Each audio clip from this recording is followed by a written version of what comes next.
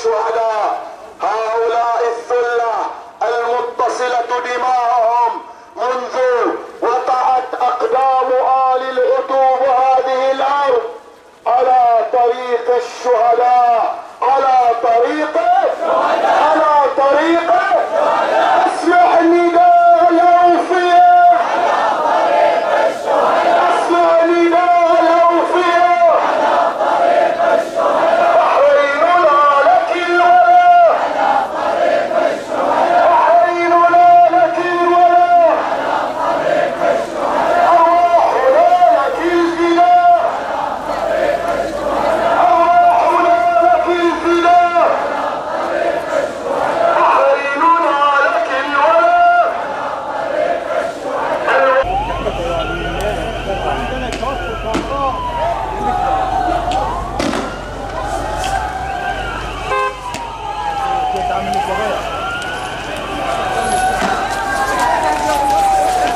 了他。